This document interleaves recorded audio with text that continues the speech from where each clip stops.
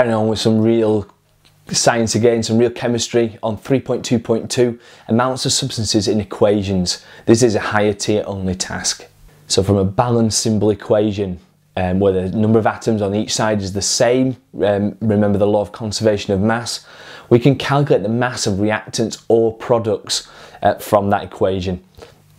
All we need to know is the mass of one of the substances, and then we can calculate the mass of the other reactant needed, or the mass of the product formed. So there's loads of cool things you can do with these, as long as you approach them with confidence. So if you look at that equation, magnesium reacts with hydrochloric acid to make magnesium chloride and hydrogen gas. So if you look at the balancing in the equations, we'll see this.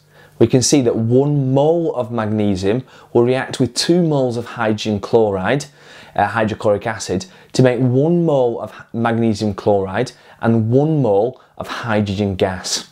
So straight away our balanced equation tells us the relative number of moles of reactants and products that are used or formed. So let's look at a question here. So how much magnesium would you need to react fully with 0.5 moles of hydrogen chloride, of hydrochloric acid? So you know the moles of hydrochloric acid is 0.5. So then you look at the equation and say how many moles of magnesium are going to need relatively?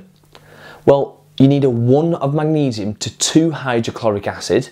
So you're going to need 0.25 moles of magnesium to 0.5 moles of hydrochloric acid. So first mark there, you've identified you need 0.25 moles of magnesium.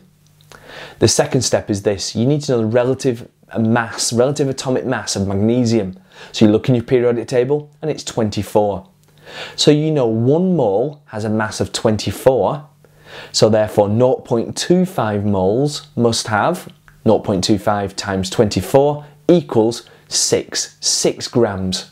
So 6 grams of magnesium will fully react with 0.5 moles of hydrochloric acid.